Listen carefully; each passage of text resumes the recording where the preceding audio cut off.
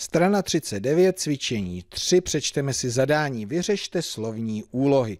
Pustíme se do úlohy A. Chodba má rozlohu 2100 decimetrů čtverečních. Jedno balení parket pokryje 50 decimetrů čtverečních. Bude na celou chodbu stačit 40 balení parket?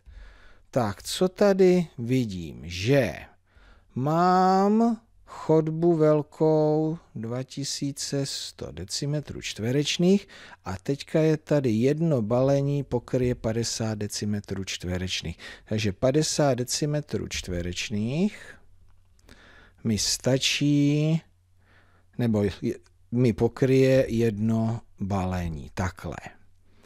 No a já mám tu chodbu velkou těch 2100 decimetrů čtverečných a ptám se, jestli mě bude stačit 40 balení. Takže já musím zjistit, kolik těch balení opravdu, opravdu potřebuju. Tak, jak pak to udělám?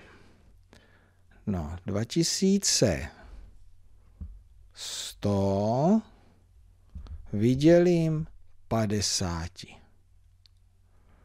Jo, potom jednom balení. Tak, jak to můžu udělat? Tady je nuly, tady nuly. Hele, já když dělence i dělitele vykrátím deseti, tak vlastně dostanu příklad 210 děleno pěti. No a tohle to můžu počítat skoro, skoro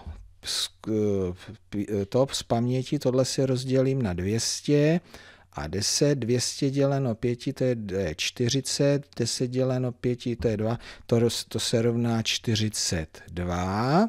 No a já mám ale pouze 40, takže 42 to je více jak 40, takže já budu muset ještě dojít pro dvě balení těch parket, protože mě 40 nestačí. Na pokrytí celé chodby 40 balení parket stačit nebude. Ano, 42 bude potřebovat. Výborně, takže tohle to je docela, ona vypadá lehce, ale na uvažování náročnější slovní úloha. Do těch dalších slovních úloh se pustíme v následujících videích.